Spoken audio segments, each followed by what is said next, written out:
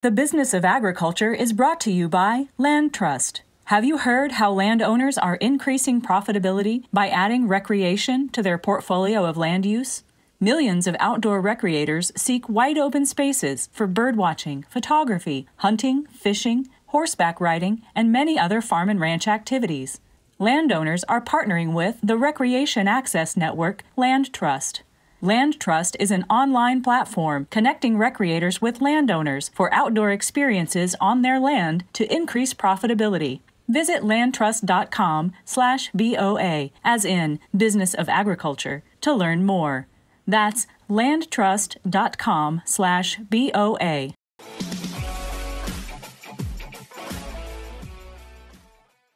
Well, greetings and welcome to another fantastic episode of the Business of Agriculture podcast. It's me, your host, Damian Mason, with a fantastic topic for you today. Yes, I'm going to cover this multiple times. I think it's that important. We're talking about the protein complex. We're talking about the meat industry. Uh, the Biden administration, as to for, meaning this this at this point right now, is somewhat ambiguous about what the policies or the rules are going to be. But they've announced one billion dollars, one billion dollars of taxpayer money is going to go to, as they say, to make the meat industry more competitive and also bring down prices at the consumer level.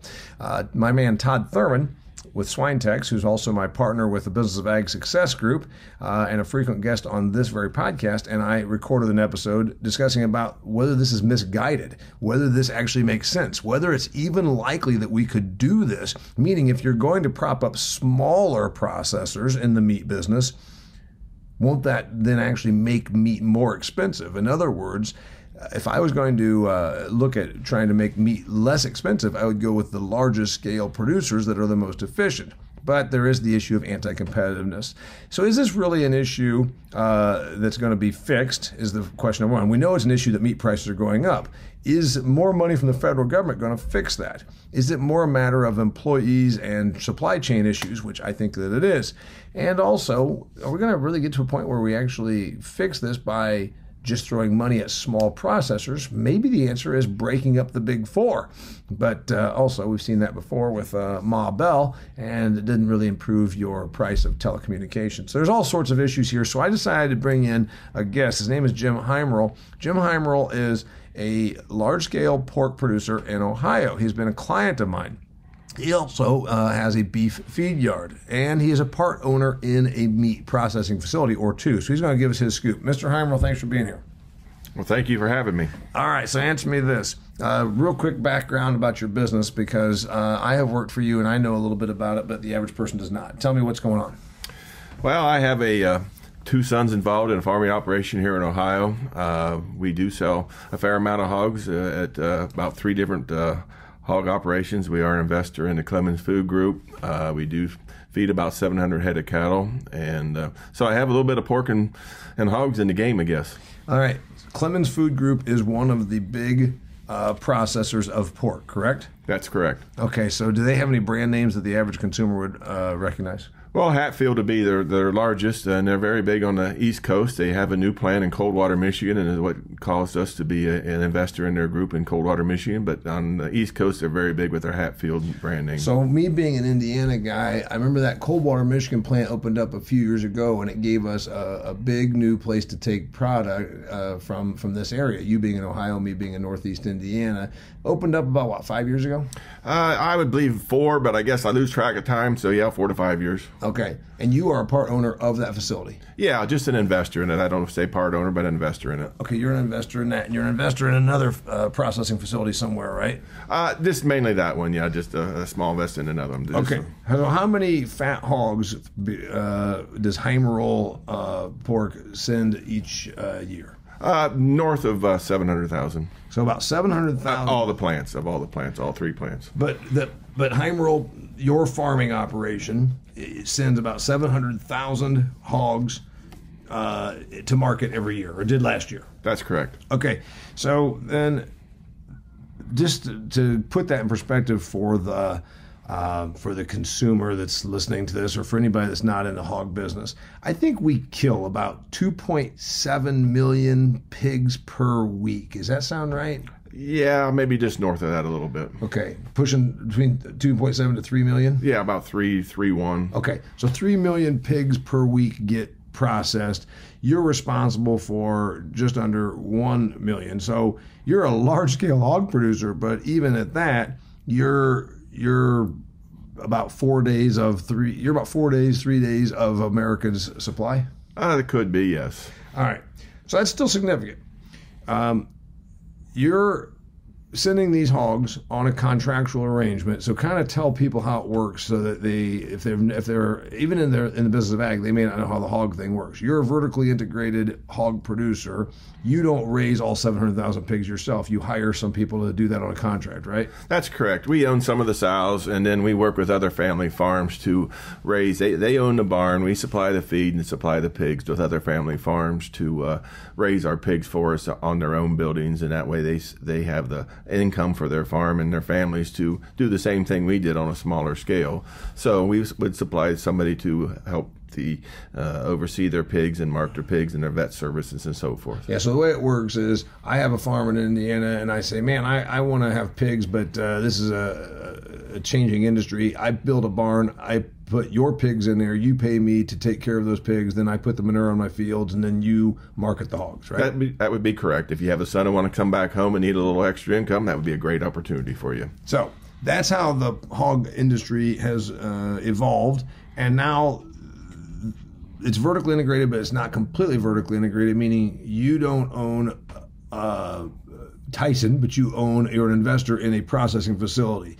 Do do your pigs always go to a place that you are part owner of? That's not correct. No, I I had an opportunity to be more integrated, so that's why we invested in the Clemens Food Group and went to their packing house in Coldwater, and also we go to their packing house in Hatfield, Pennsylvania. Okay, so two of the places go. Your, your, stuff goes generally to two processing facilities. That's correct, and then I have an opportunity to go to two other facilities. Okay, the Biden administration came out on Monday, uh, January third, and announced a billion dollars is going to be thrown of taxpayer dollars at meat processing to the purported uh, reason is to lower prices for the consumer. At the consumer level, pork is up double digit percent, uh, beef is up 20 or 25 percent at the consumer level year over year. I think poultry is up maybe 9 to 10 percent year over year. So there is some, some screaming going on. Uh, at the consumer level, because we've had such cheap food for so long, they've never seen this. Um, but the Biden administration, my concern is I don't think that this, I'm not sure it's, it's a bit ambiguous where it goes and how it's going to get applied. Do you see this doing anything for you? Well, there's a lot of confusion, and I have to admit I don't understand it because I know there was 500 million back in the summer for small packing facilities. There's 150 million for COVID relief to small facilities. So a billion dollars that was thrown out. Uh, I can't say I understand all of it, so uh, I'm willing to try to understand, but I don't believe it was for the larger packing facilities. I know there's some foreign ownership that I don't think they need their help, but I guess I'm still waiting to maybe understand that we can talk some more about it. Okay, so since you and I are, we're as knowledgeable, you're more knowledgeable about it than me because you are producing 700,000 fat hogs a year plus 700 and some fat steers.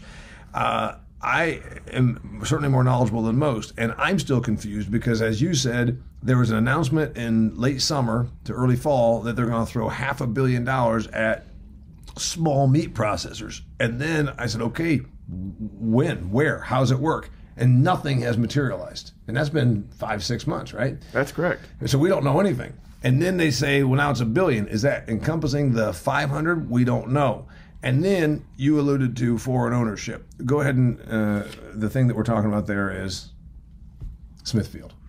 Well, Smithfield's a large company owned by foreign ownership. JBS is a large company owned by foreign ownership, and uh, uh, but they have American management and and um, and American processing facilities. And American processing facilities, and uh, I know there's a lot of uh, uh, people that uh, has some issues with it, but I guess they are American management and American ownership right now. So I'm not saying that I do sell to one of the companies. Uh, I'm not saying that they're uh, Americanism. I believe in Americanism, but um, you know we have to understand they are doing the job and they are keeping in America. And I guess uh, they do export some, but that's not their goal to export to overseas. And I don't think that's the reason why the product is high. Yeah, they didn't buy. They did, JBS, Brazilian owned company, and Smithfield, Chinese owned. They got into and, and keep expanding because it's a consolidating industry, right? That's correct. You know, when you were a kid, I hear raising hogs in Ohio, you had more places to go with your fats, right?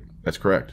And so we've got bigger processing facilities owned by fewer companies and even not as many processing facilities. That's correct. And that's not the only business there's been consolidation in either. Yeah, every everything has been this way. So uh, that's, in your opinion, not why meat is is going up in price at the grocery store. Not at all.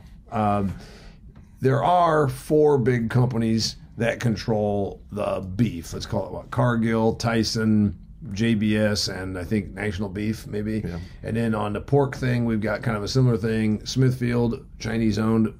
Tyson. Tyson. JBS. JBS. Clemens is Clemens also is group. there. Okay, so you've got these big processors, and so it's almost like I'm seeing conflicting messaging. And it's maybe because we've got an administration that doesn't understand economics or business or agriculture or all of the above. Making prices cheaper for the consumer giving money to small processors. Does it accomplish that? If that's what they're doing, if that's what the part of this billion dollars is supposed to do, going to small processors, does it make it cheaper for the consumer? Well, I'm all for the small consumer. Don't get me wrong. The small processor. The small processor. I'm sorry, small processor. But I'm, I think they all have a place in in part. I know the processors in Ohio are doing great right now because of COVID, uh, and I don't know how to say it because they're all busier and all get up because of uh, everybody staying at home and cooking more, and they're doing great. I think they're all entitled to a, a, a part of the pie, I should say. But are they? Uh, I think you made a great scenario when we talked here a minute ago. Uh, can you make a, co- a, Toyota in the back of Ed's shop or a, a car? I mean, I think that was a. I like you made a comment or something. I, yeah. I, I, don't know. I mean, I'm all for small meat processors because I use them. But if the goal is to cheapen the meat product for the American consumer, uh, a bunch of stuff going to small places maybe doesn't well it can't period on an economic basis accomplish that. Again if i want a cheap automobile i want toyota to be ramping up car production versus them saying hey jim and damian why don't you build a couple of cars in your garage? Well i can't possibly compete on a price level with toyota. Efficiency is where the name of the game is and i guess uh, uh, and sustainability for the long term. I I think we have to be efficient with our uh, our money right now. Uh, we keep handing out. I, I, I, every time they hand out a trillion dollars, I go back and look what the budget is. I I keep thinking we handed out three trillion dollars, and I look when we have a five trillion dollar budget. Where did it? Where's it come from? Yeah. And and we keep printing money, and I don't understand. I think it's all it's great for these low interest loans and grants, uh, but where do they keep making the money from? And is it going to be sustainable in the long term? No, I mean, not. labor. I know we we looked and see where the money's being used at, but where labor is a real issue right now, and for them to say that they're going to use part of this money to train the workforce I don't understand. We got to find a workforce. Yeah. So uh, I've read the statement from the White House just sitting here with you, and they're saying 375 million dollars to make gap financing grants. I'm not even completely sure I know, I know what a grant is. I know I know what gap financing is. There's been times when you needed uh, a little bit of money to go from here to there. So are they saying we're going to give you this grant just to cover until you can get a loan. I don't know. It's ambiguous as hell. Then they talked about $100 million for uh, another thing, and they talked about as much as 32 million, which is a spit in the wind out of a billion, that was going to go to get more small facilities um, USDA or FDA inspected so that they could do more processing. Those are all fine things that open up some capacity, but on a percentage level, you know, if you got rid of 70 more pigs per year through local channels when you produce 700,000, does it make any difference? Well, not not at all because there's only I'm just really on this picture. I'm still a small producer compared to some of the larger producers around, and and they're all looking for shackle space. We're up against needing more space now, and we're we, we need space. Right. Okay. So then the issue is you need more processors. Um, this is a long term thing. I can't right now. I can't open a meat processing facility tomorrow. It's it takes what 18 months to even build one of these. Get well, I would say uh, at the minimum. I don't know if you get permits now in 18 months. Yeah, so it's going to take two to three years to get these things built. If maybe part of this billion dollars is fast tracking that, Jim, does that help us so that we get more? Will will there be more processing come online because of it? I don't think so. No, I really don't. You you think that this billion dollars ends up being I think this billion dollars is just use it and lose it deal, and they just start using it. I, I, I think there's the government could use it for some low interest money, some regulatory issues to be a whole lot faster for the yeah. meat processing facilities yeah. for small producers. So it might end up going. You know, my my partner Todd uh, is in the pork uh, consultation business, and he said, okay if it takes you thirty-five million dollars to build a new processing facility that can that can harvest twenty-five hundred uh, pigs a day, which he said is small. That seems large to me, but it seems small. He said small. He says that still ends up only taking five percent of the um, of the product of the capacity, and that's going to burn up all of that three hundred seventy-five million dollars essentially. That's so correct. We don't even so we're and if if we did that, it would add five percent to pork capacity. Still haven't touched poultry nor beef nor lamb. That's correct. that is right. We just hadn't even touched the, the problem. So yet. the billion dollars, even if it was well spent from the government, is so limited in terms of how much money it would take to build out more shackle space, as you say. That's correct. That's correct. Yeah, a new plant today has already probably since COVID hit because of all the steel and all the extra labor and extra costs. Uh, when they built the Clemens plant, for example, two hundred fifty dollar million dollar plant, it's every bit of twenty five percent higher. Is that the one in Coldwater, Michigan? Yes, and so, then you are talking on that scale. Of course, we're talking small. Well, okay, the Clemens Coldwater plant that you're an investor in, the price to make that, to open that, build that out, five, four or five years ago was two hundred fifty million dollars. Uh, north of that, even that's without land, utilities, and so forth. So, so it could have pushed three hundred. Yeah. Okay, could have pushed three hundred million dollars. What's the capacity there, Jim? That's ten thousand eight a day. Ten thousand 800 pigs per day. Yeah. Okay, so yes, even if you said one fourth of that, again, you're talking 40 or 50 million dollars yeah. to build a smaller facility. What about the very small stuff? You know, the guys where you and I go and we buy a quarter of beef.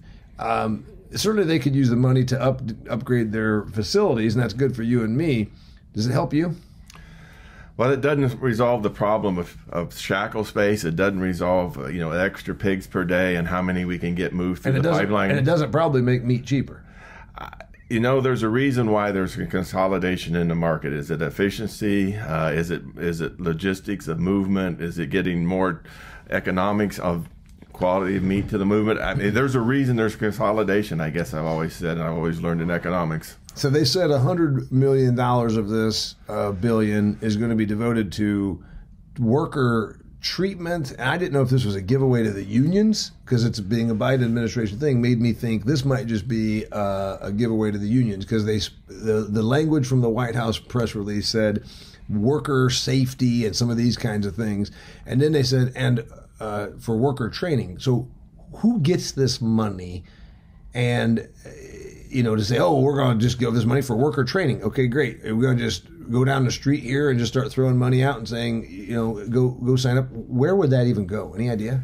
Well, I would like to know because um, being affiliated with some of the packers now, the worker, the labor situation in the packing facilities now are 10 to 15 percent. I don't think you can find any, and I know in the cattle and the hog situation, I don't think you can talk to any facility today, it's not running at least 10 to 15% short on labor. Okay, so that means if you're 10 to 15% short on labor in your processing facility, does that mean that you're you're 10% less on capacity? You are, yes, right? Yeah, I mean right. you, you're you're having to slow down the lines yep. and put less animals through there. Uh, period. Okay. Um, other things that you see at your front step that the person doesn't at the uh, at the consumer the Biden administration uh, billion dollar plan kept saying, and then Zippy Duvall, president of the American Farm Bureau Federation, said, We've got to figure this out. How is it that farmers are making very little and um, while meat prices are rising? So I guess Zippy Duvall and the Farm Bureau is trying to say that the packer processors are making all this money in the middle. A, do you think that's true? There has been profit made in the packing industry, uh, no question about it. Um, uh, there, there has been there has been profit made in the packing industry. Do you think they're do you think they're just killing it right now while the consumer's paying twenty one percent more for beef and fourteen percent or eleven percent more for hog for pork at the grocery store and nine percent more for uh, chicken? Is that all just now new margin for the processor?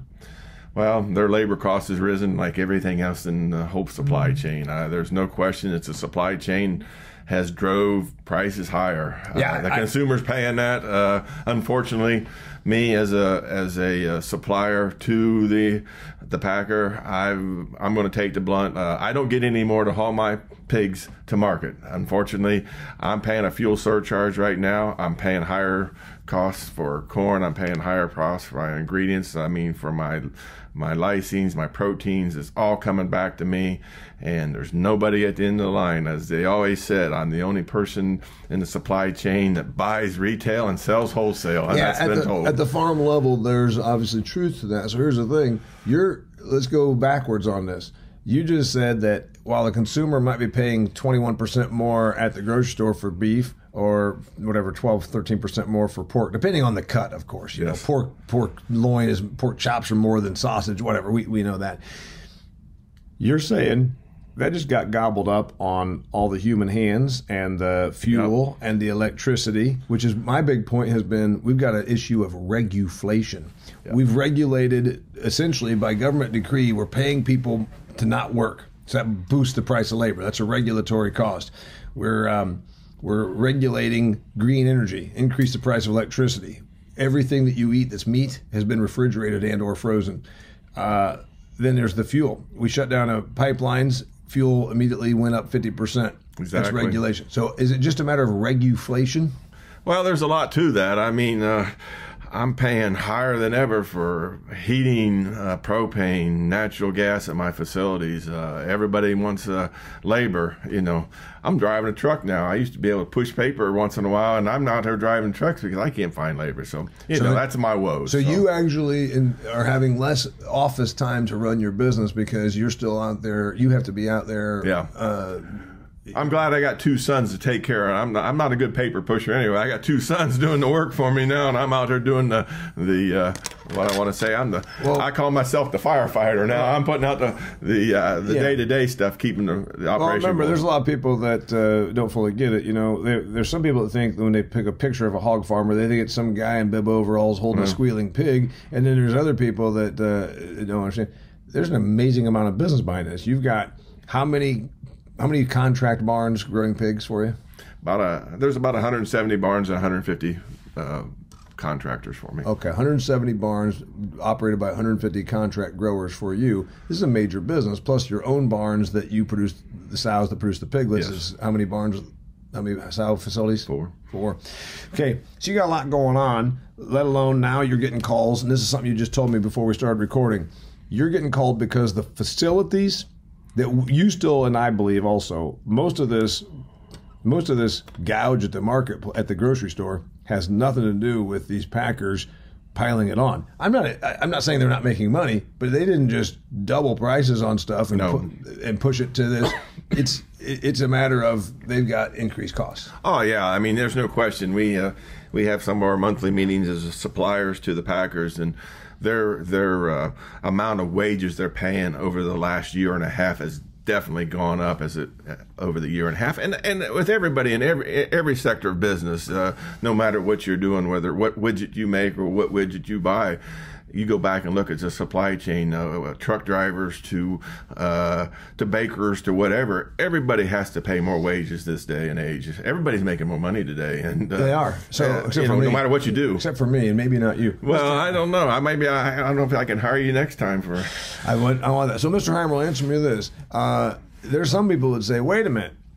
I'm trying to figure this out. The Biden administration and the American Farm Bureau Federation came out and they're anti Packer. They are against these meat processors. And we've had a Packer meat processors have had a black eye since Upton Sinclair wrote The Jungle back 100 and some years ago uh, about the horrid conditions in the Chicago meat processing facilities.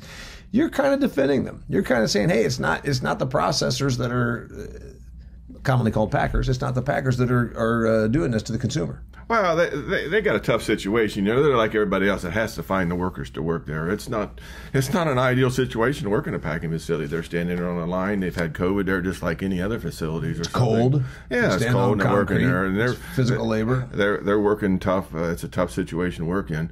Um, yeah, but any producer will sit here and complain about the packer, but it's a love hate relationship. It's like you know you're selling to them. They're they, they aren't paying enough. We all have that relationship, but at the end of the day, we they need us. We need them. It's a, it's a working relationship. We have to work together, and we all have to be a team.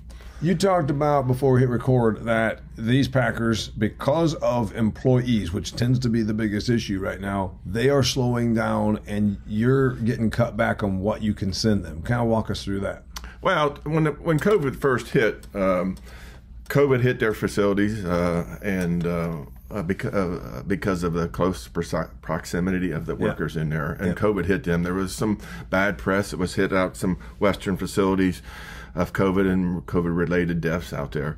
Uh, right now, we haven't had it. We had a pretty good issue or a pretty good run uh, without COVID, and now we're starting to get some calls uh, and call offs of workers at these facilities of COVID. And we're actually got a call last week from a facility that's um, going to cut back on our um, our processing of pigs and harvest of pigs. So um, pigs are gaining so much every day. If pigs get too heavy, which can happen weekly, we have to sell so many pigs this week or the next week are too heavy and we get docked on them. Well, we get a call off next week and we're going to lose 10% of what we can deliver next week. So the following week, we'll get a do- monetary dockage of pigs on that and we won't be able to get them in because of their workers are not there to harvest that facility. And that, so and that money goes away, it never comes back. Oh, it's a, it's a perishable item. It's just like when tomatoes rot in your field. We got pigs in our barns. We can't stop feeding them. That's inhumane. We, Yeah. Our pigs are our, our number one thing is caring for our pigs. And if those pigs get over that weight range, and those packers are docking us for them, we can't gain that back. and the Packers aren't docking you because they're trying to screw you. They Nope. don't have the capacity. Well, you don't want to buy a pork chop too big. I mean, there's such a thing as uh, there's a that Yeah. pork chop has to fit in that container, has to fit in that box. So you're sending pigs that are heavier because you're being held back because of capacity at the facilities Yep. because of worker shortages. Yep, worker So- shortages. And so there again, if they can't, you know, if su- if demand remains constant and supply is constrained, which it is, Yep. prices go up, Yeah. and it's costing you. yep. Um, 2022. Here we are. We're recording this at the beginning of 2022. Outlook. What do you think? Um, we're hoping for a good year. Our exports in the pork business is what we live and die by. Uh, by the sword, I guess we export about thirty percent of all pork made in the U.S. Uh, so as long as exports stay strong, China was our China, Mexico, and Japan's our biggest export market. China is a um, what I want to say a A, a son of a bitch.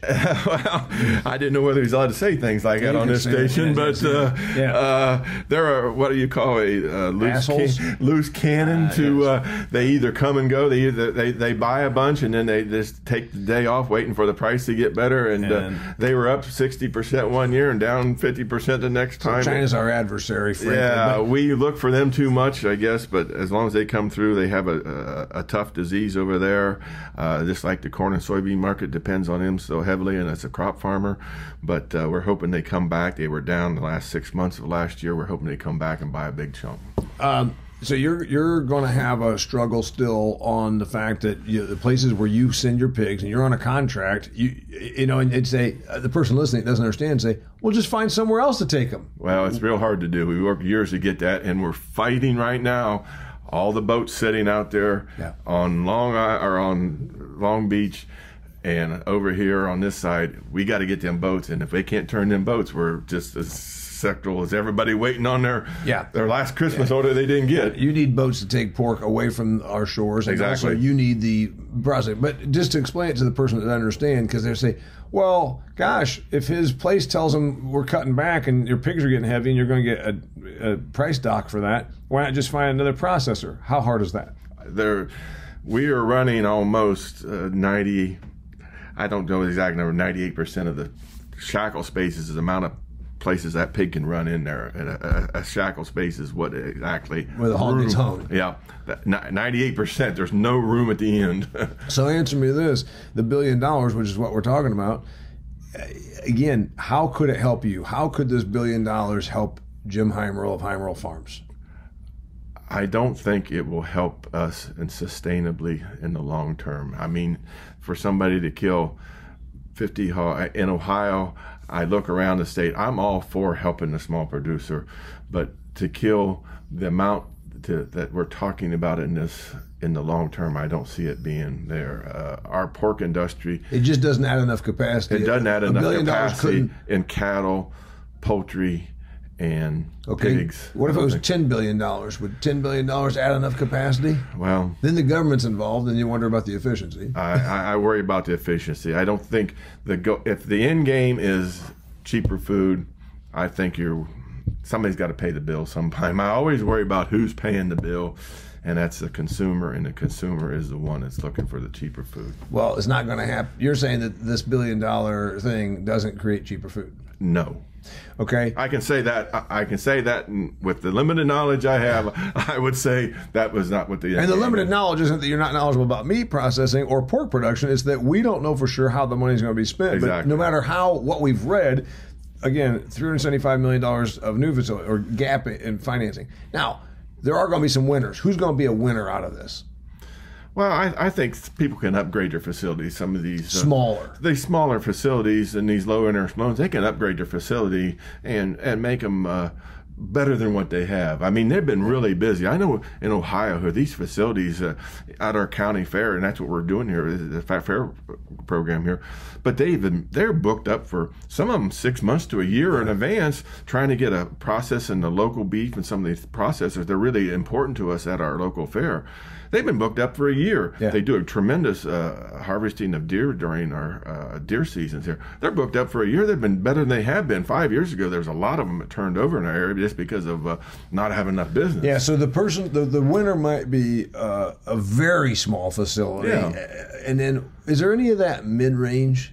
You know, is there anybody that's in that mid range? Like, okay, they're bigger than your neighborhood place, but they're certainly not Tyson. Uh, Do they get any benefit out of this? You know, I, don't know. I, I guess I can't answer that. There, uh, the people that's killing hundred pigs a week. I, Yeah. I, don't know if there's anybody that would come on. I know there's about one or two in Ohio. Do you see yourself being the kind of place that kills, kills 100 pigs a week? You're going to stick with what you do. yeah. What about beef? You sell 700 and some odd fat steers a year. Where do those go? Um, they're still going to the bigger facilities. I mean, there's always going to be that place that would be that niche market that's farm to fork. Yeah. That somebody wants to have the um, uh, that organic restaurant. Well, do, do those benefit from this billion dollars? Maybe. Maybe um, whether that they're going to, but that's not the the end game of Cheaper food. cheaper food. That that's that's your high dollar Yeah. double. Yeah, the yuppie, the yuppie in the suburbs of Cincinnati that is willing to pay, you know, Yeah. 20 That's not your cheaper food. that's not going to be cheaper food at all. It's so that person might be. It ended up might be that those people are benefited more than the cheap food crowd. yeah, but that's not the that's not what the end game here is. Yeah. So if we open up small, small niche processing facilities with some of this billion dollars, it, it's, it does a great thing for the foodie that wants to, you know, have organic, grass-fed, small scale, et cetera, et cetera. But it certainly didn't lower Yeah. any price at the grocery Yeah, store. I mean, if you want your wagyu beef that they fed beer to at home, I, I don't know. I'm just guessing here. I'm just above So- my pay grade. All right. His name is Jim Heimerl. If you want to find him, he's been a client of mine. He's a smart dude. He's a hog producer and a beef producer and a, and a grain producer. He's in J- Johnstown, Ohio. Go to Heimerl, H E I M E R L, Heimerl farms.com and you can send him an email. He probably won't be able to respond he's going to be out driving a truck 'cause he can't get employees to do that for him right now. Uh, my name is Damian Mason, reminding you that if you uh, also want to up your farming game, check out the great work I'm doing over at XtremeAg. That's X T R E M E, xtremeag.farm. Xtremeag.farm, uh, consortium of high yield farmers that are doing cutting edge stuff, doing trials, product trials for companies, new advanced technologies, new experiments on the farms and practices. You can check that out at xtremeag.farm. It's the Cutting the Curve podcast that I'm helping them create. I encourage you to check that out. Till next time, thanks for being here, Jim. All righty. Thank you. Thanks. Have a good day. You bet. Till next time, it's the business of agriculture. This episode of The Business of Agriculture was brought to you by LandTrust. Landowners, just like you, are increasing profitability by adding recreation to their portfolio of land use. Millions of recreators actively seek wide open spaces for birdwatching, photography, hunting, fishing, horseback riding, and many other farm and ranch activities. Owners of farm and ranch properties are partnering with Recreation Access Network LandTrust. LandTrust is an online platform connecting recreators with landowners for outdoor experiences on their land to increase profitability. Visit landtrust.com/boa as in business of agriculture to learn more. That's landtrust.com/boa.